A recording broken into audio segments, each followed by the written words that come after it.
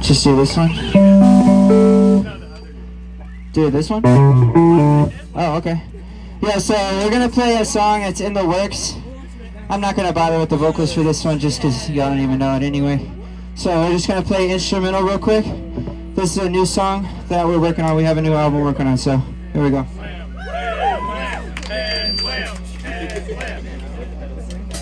Thank